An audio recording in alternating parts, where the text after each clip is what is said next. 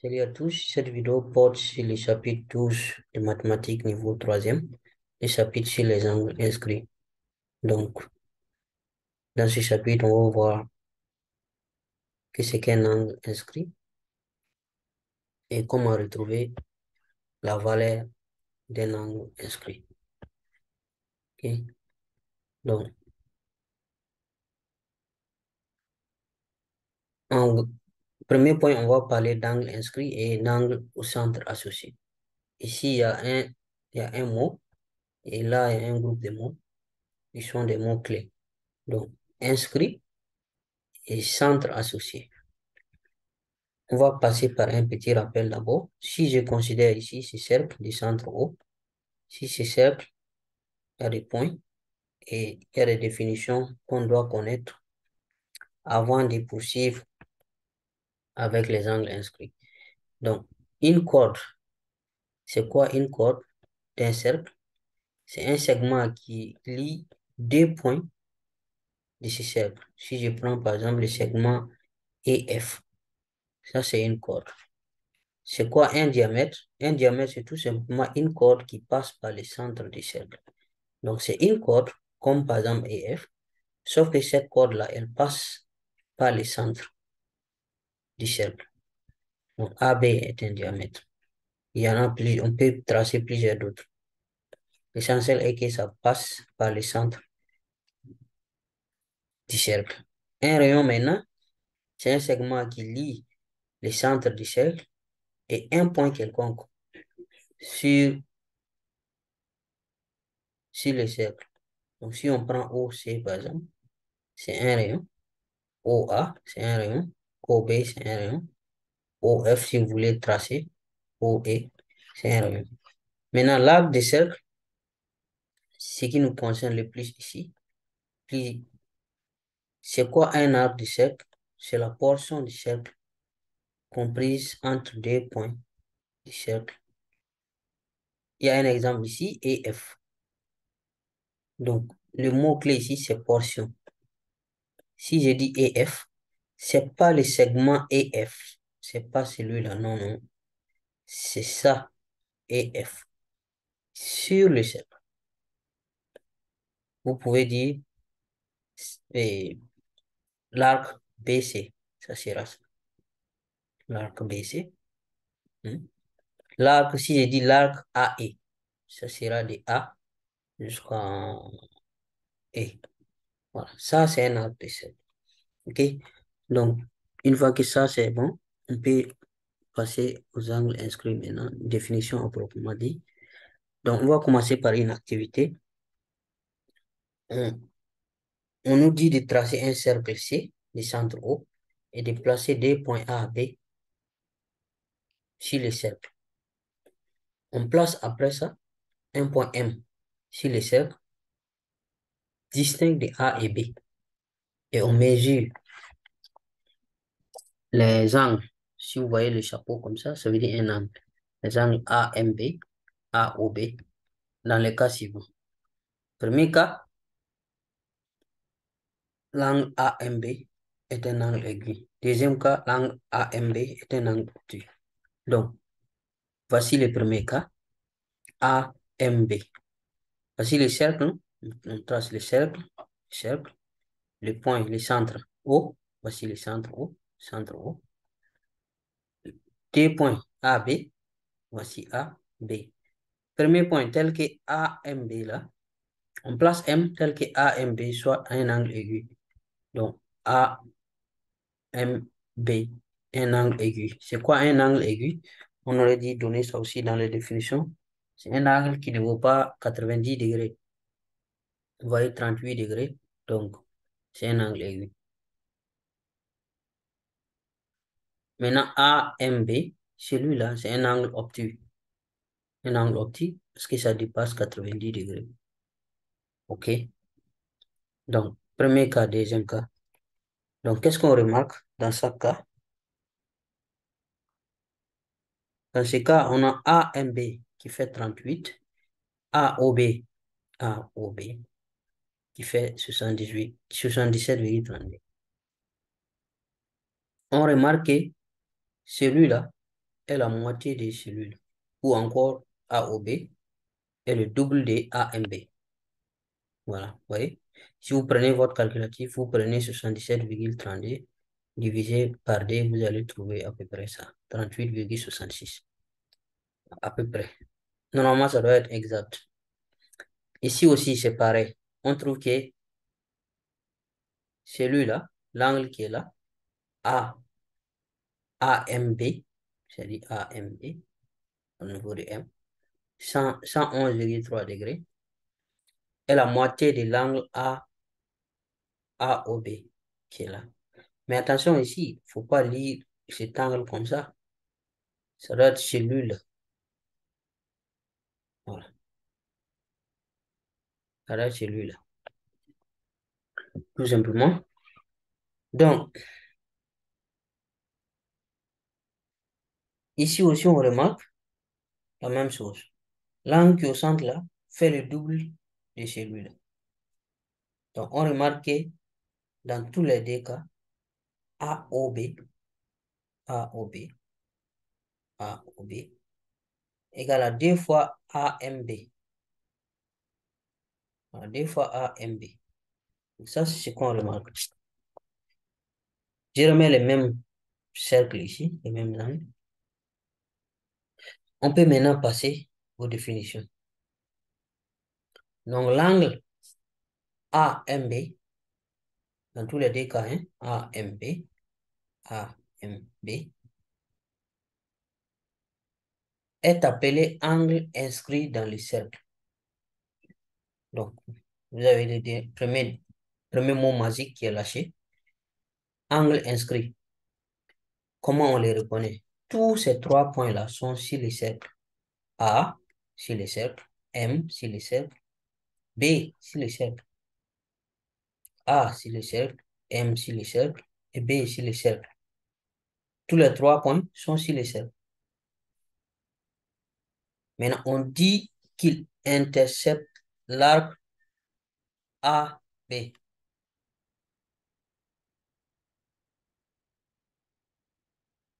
Il intercepte l'arc AB. Vous connaissez l'arc maintenant, non? L'arc du cercle, l'arc AB. Cet angle-là intercepte cet arc. Celui-là aussi, AB, intercepte cet arc AB. Même si AB ici, cet arc AB là est plus long. Maintenant, parlons, l'angle, parlons de l'angle O là, qui a pour sommet O. L'angle AOB. Cet angle est appelé angle au centre associé, car il intercepte le même arc que l'angle AB, AMB, et a, a le sommet O, en. Et le sommet O là, je trouve que c'est le centre même du cercle. Voilà pourquoi on a ici centre associé. Donc, ce groupe de mots magiques aussi est lâché. Centre associé. Centre parce que son sommet est le centre du cercle. Il est associé à l'autre angle parce que, vous voyez, ils ont ces deux points-là en commun, A et puis B. Donc, vous voyez A, B, A, B ici. Sauf que l'autre, son sommet est sur le cercle, mais celui au centre associé là, son sommet, c'est le centre du cercle. Je pense que c'est facile quand même d'identifier. Maintenant, il intercepte le même arc. Dans ces cas de figure, c'est très facile de, déterminer l'arc là, l'angle l'angle au centre associé, A ou B. Vous voyez? Ils interceptent le, même arc AB. Donc, pour deviner le même arc qu'ils interceptent là, ces deux angles interceptent, c'est ces deux points-là, le début et la fin. AB. AB. Vous voyez que l'angle AMB commence par A et se termine par B. L'angle AOB aussi commence par A et se termine par B. Maintenant, je disais tantôt qu'il ne faudrait pas aller dans ce sens-là. c'est pas comme ça A ou B, mais c'est dans ce sens. Pourquoi c'est dans ce sens? Parce que l'arc intercepté ici, vous voyez, c'est cet arc-là, A, B. C'est cet arc AB. Vous voyez votre angle AMB là. AMB là, fait face à quel arc? Ça fait face à cet arc-là. Et non l'arc qui est en haut. Donc, l'angle suivant là aussi doit faire face à cet arc A, B. C'est aussi simple que ça. Mais si vous faites comme ça, cet angle ici, comme ça, cet angle-là, regarde ici en haut. C'est pas bon. Donc, même si c'est bizarre, ça aussi c'est un angle. Mais c'est un angle qui est supérieur à 180 degrés. Donc, peu importe sa valeur, il doit intercepter le même arc AB. C'est arc AB, pas l'autre partie AB. Pas l'autre arc.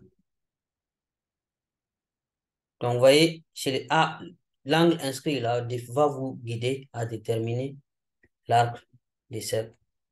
Celui-là, vous voyez, fait face à cet arc de cercle AB.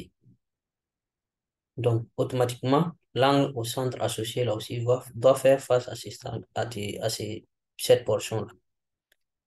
Et pareil ici, AMB fait face à cette portion. Donc, celui-là aussi doit faire face à cette portion d'arc de cercle. J'espère que c'est compris. Donc, quatrième position, on va parler des théorèmes maintenant. Donc, si un cercle de centre O, si on a un cercle, soit ici, soit il y a I qui manque. Donc, si A, B, M sont trois points distincts de ces cercles, alors AOB égale à deux fois AMB. Je corrige ça encore.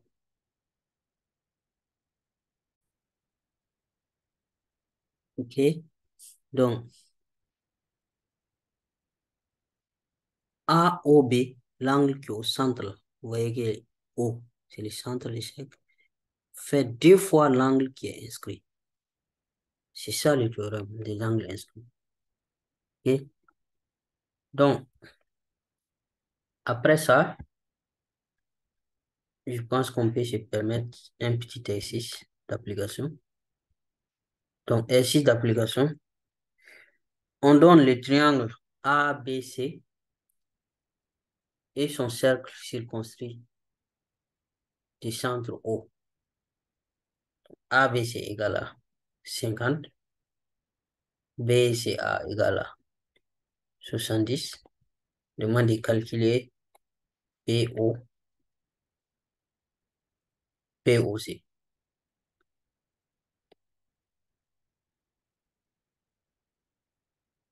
A, B, C. C'est un triangle. Hein? A, B, C. On nous dit que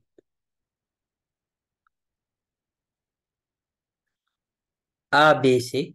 A. Voici A ici. A, B, C. Normalement, c'est ici, mais ce n'est pas tracé. On doit faire 50 degrés. Maintenant,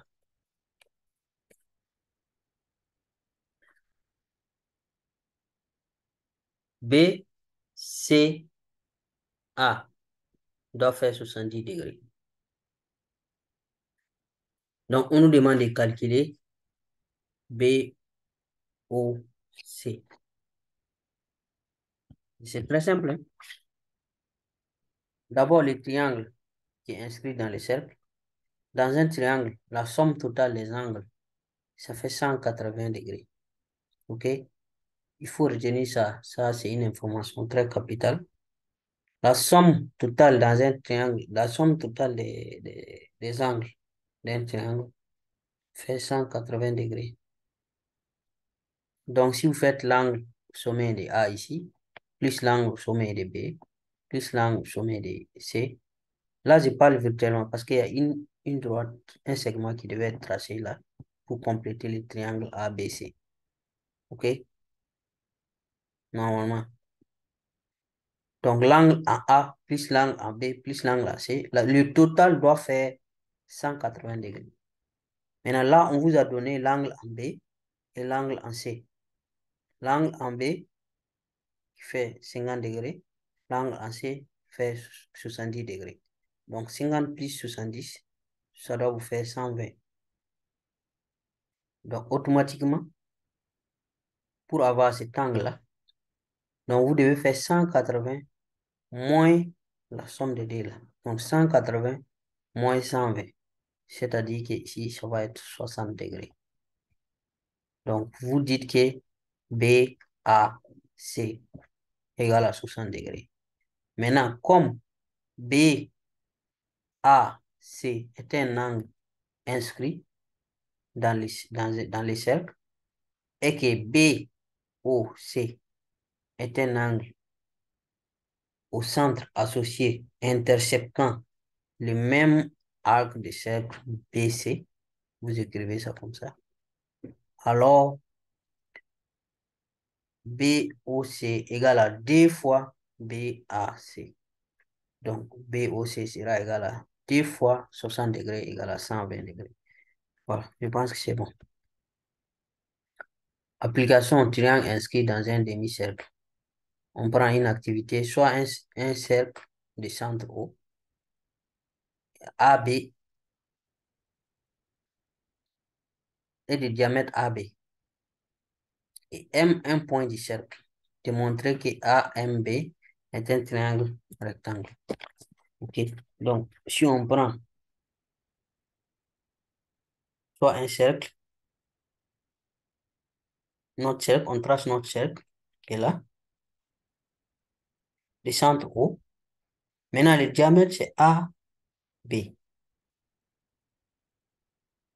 Et M là est un point du cercle. Si vous voulez placer votre point M là, n'importe où que vous voulez. Partout sur les cercles.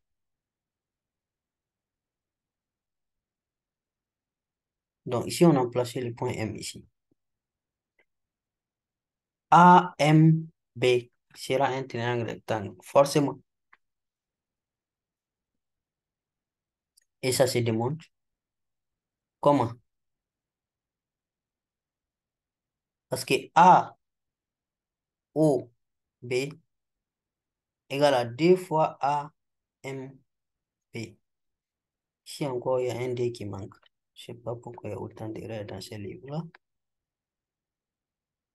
Donc, A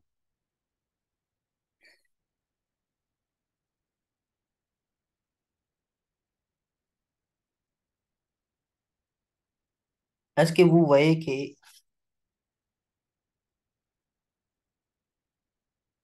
AMB là, cet angle est un angle inscrit dans le triangle? Parce que tous les trois points de l'angle sont sur les, sur j'ai dit dans le triangle.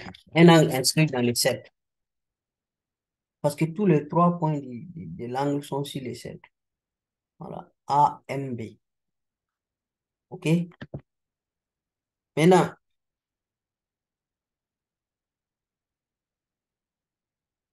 l'arbre de cercle qui intercepte cet angle AMB c'est cet angle AB.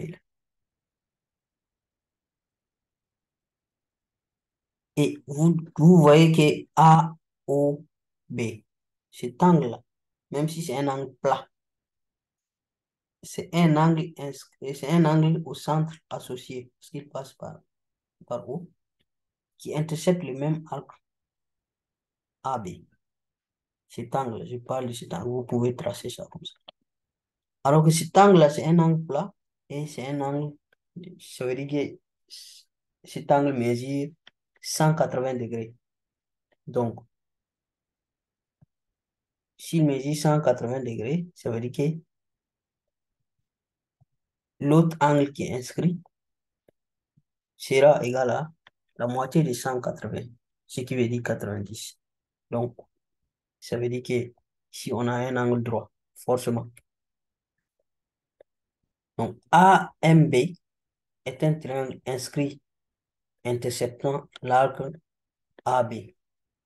C'est ce que je viens d'expliquer. Maintenant, AOB, AOB est un angle au centre associé interceptant le même arc. On a donc AOB égale à 2 fois AMB. Donc, si on prend d'ici, on peut tirer l'angle AMB. Ça va faire AOB divisé par D. Ce qui veut dire 80, 180 divisé par D. Ce qui fait 90. Donc, on démontre que l'angle ici, là, égale à 90 degrés. Donc, le triangle AMB est un triangle rectangle AM. Et ça, quel qu'en soit où vous allez placer votre point M là, ça marche.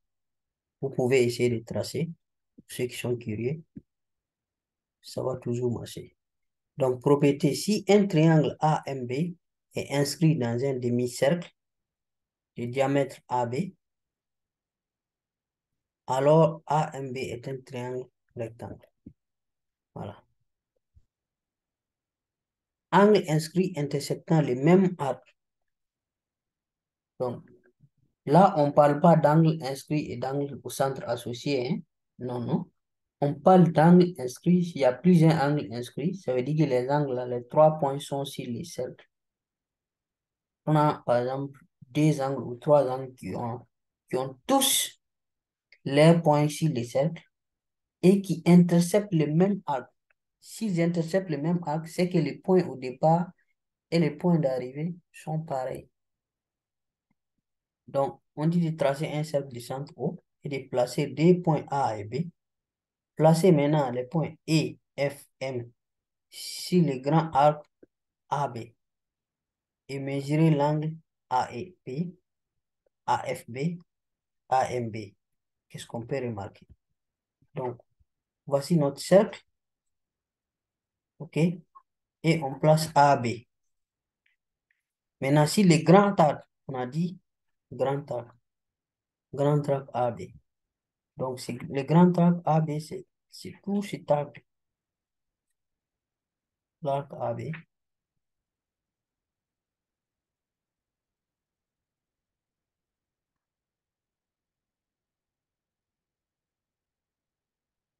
Donc, on place E ici, F ici, M ici. Vous voyez que tous ces points-là, tous ces angles-là interceptent le même arc, le petit arc AB. Voilà, c'est arc-là. Ils sont placés sur le grand arc. Les points-là sont placés sur le grand arc. Mais les angles E interceptent le petit arc ici, AB. Vous voyez que cet angle-là fait face à ce petit arc. Celui-là aussi fait face à cet arc. Celui-là aussi fait face à cet arc AB. Donc, quand c'est comme ça, qu'est-ce qu'on remarque? On remarque que celui-là, si on le nomme alpha, angle A et B, 35,78. Celui-là, AFB, 35,78. L'autre, AB, AMB, qu'on a nommé également, 35,78 degrés. Donc, on remarque quoi? Que tous ces angles-là sont égaux. Voilà. Tous les angles 35,68, 35,68. On remarque que tous les angles là, tous les trois, sont des angles inscrits interceptant les mêmes arcs sont égaux. C'est ce qu'on remarque. Donc, si des angles sont inscrits, attention, je ne parle pas d'angles associés au centre Celui-là, on a dit qu'il sera le double de tous les angles. On parle seulement de ceux qui sont inscrits. Ça veut dire que tous les trois points sont, se trouvent sur le cercle. Tous les trois points de l'angle se trouvent sur le cercle. Dans ce cas, c'est un angle inscrit. Maintenant, si les angles inscrits interceptent le même arc, vous voyez que et tous, ils ont même les points A et B. Et tous, ils viennent là-bas. Voilà. Dans chaque, chacun d'eux, il y a A et B. Ils interceptent le même arc. Dans ce cas, ils sont égaux. Voilà. Donc, la propriété qui découle de ça, si deux angles inscrits interceptent le même arc des cercles, alors ils sont égaux. Donc, c'est ça la propriété. Si des angles interceptent, si des, angles inscrits, j'insiste vraiment sur le mot inscrit là, il ne faut pas aller prendre l'angle au centre associé Des angles inscrits interceptent le même arc, alors ils sont égaux. Et c'est la fin du chapitre. Je vous invite à partager et à vous abonner. Merci beaucoup. On se donne rendez-vous dans une prochaine vidéo.